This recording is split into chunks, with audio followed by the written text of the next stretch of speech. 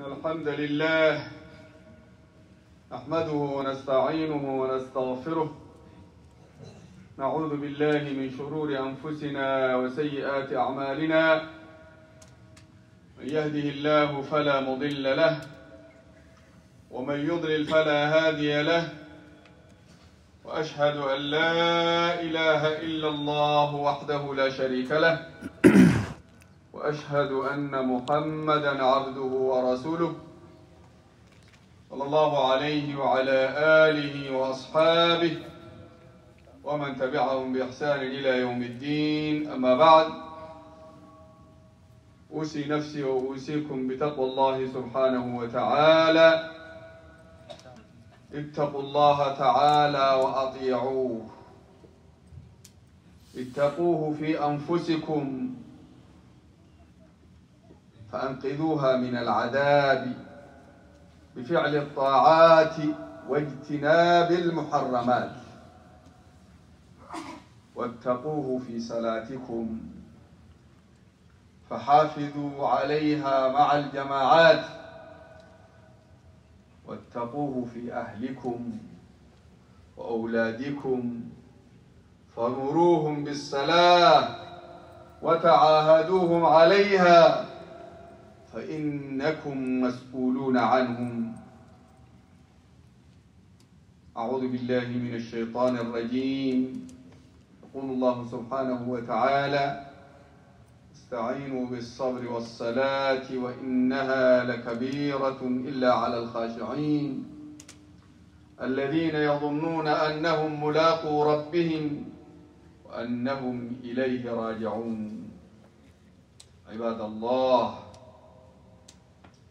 حين شرع الله سبحانه وتعالى علينا العبادات فإنما أراد بها قرب عباده منه سبحانه ولا يكون ذلك إلا بصلاح قلوبنا.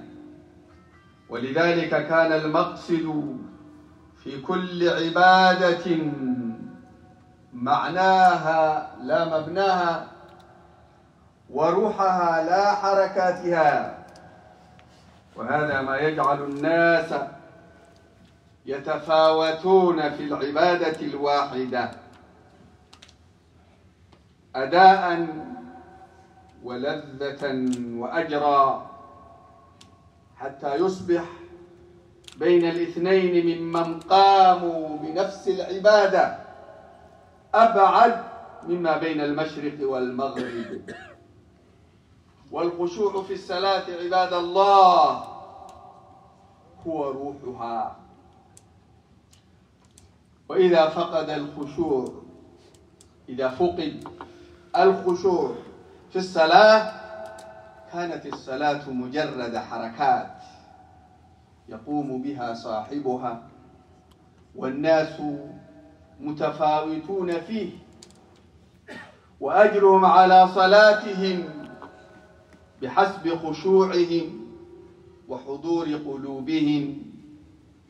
وقد جاء في حديث عمار بن ياسر رضي الله عنهما قال سمعت رسول الله صلى الله عليه وسلم يقول إن الرجل لينصرف وما كتب له إلا عشر صلاته. تسعها ثمنها سبعها سدسها خمسها ربعها ثلثها نصفها رواه أبو داود. وهذا الحديث يجب أن يخافه كل مسلم وأن يستحضره عند كل صلاة. والخشوع هو قيام القلب بين يدي الرب بالخضوع والذل. قال الحافظ ابن رجب رحمه الله أصل الخشوع لين القلب ورقته وسكونه وخضوعه وانكساره وحرقته. فإذا خشع القلب تبعه خشوع جميع الجوارح والأعضاء فإنها تابعة له والهيبة من الله تعالى وخوفه وتعظيمه ومحبته ورجاؤه كلها توجب الخشوع حال الوقوف له سبحانه في الصلاة. فيتذكر العبد تقصيره في حق الله تعالى في مقابل عظمته وقدرته سبحانه وتتابع بنعمته سبحانه ويتذكر أن كل شيء يطلبه فهو بيد الله تعالى.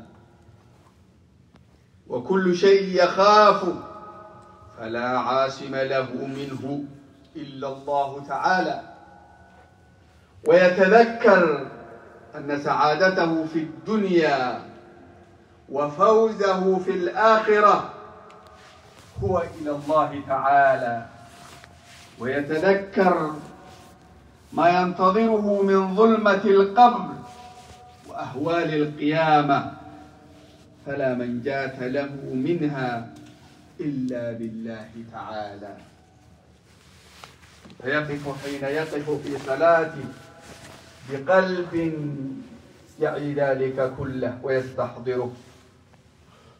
ومن عظمة الله تعالى وهيبته خشع الرسل عليهم السلام. إنهم كانوا يسارعون في الخيرات ويدعوننا رغبا ورهبا وكانوا لنا خاشعين. وكذلك خشع أتباعهم من المؤمنين. وإن من أهل الكتاب لمن يؤمن بالله وما أنزل إليكم وما أنزل إليهم خاشعين لله. لا يشترون بآيات الله ثمنا قليلا. والقرآن الكريم كلام الله تعالى وهو يتلى في الصلاة ولا صلاة بلا قرآن. ومن عظمته وثقله أن الجبال تخر خشوعا. إن من عظمة القرآن الجبال الراسيات الكبيرات تخر خشوعا لو تنزل عليها القرآن. وفي ذلك يقول الله سبحانه وتعالى لو أنزلنا هذا القرآن على جبل لرأيته خاشعا متصدعا من خشية الله وتلك الأمثال نضربها للناس لعلهم يتفكرون. أقول ما تسمعون. وأستغفر الله العظيم لي ولكم ولسائر المسلمين. فاستغفروه إنه هو الغفور الرحيم.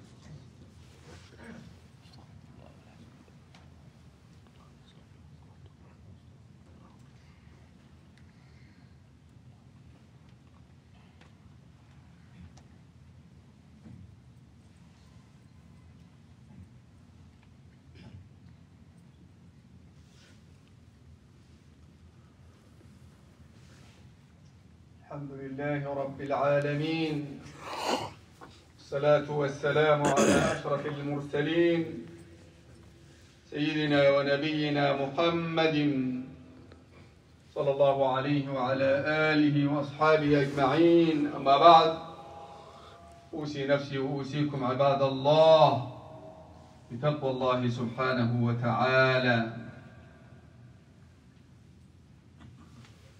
ويتكلم الله سبحانه وتعالى عن عظمة القرآن أنه لو تنزل على الجبال لدكت الجبال. لانهارت لو أنزلنا هذا القرآن على جبل لرأيته خاشعا متصدعا من خشية الله. وتلك الأمثال نضربها للناس لعلهم يتفكرون. أي لعلهم يتفكرون بهذا المثل المضروب لهم في الخشوع فيخشعون.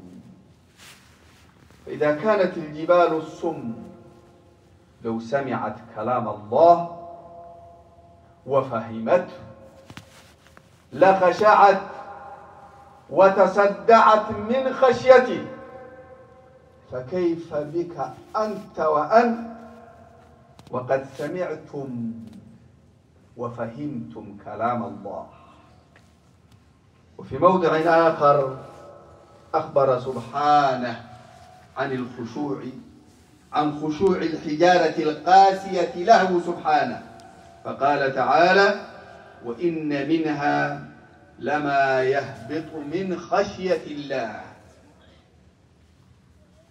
وحين تتراءى عظمة الله تعالى للناس يوم القيامة في الموقف العظيم وما فيه من الأهوال والعجائب يخشعون لما يرون.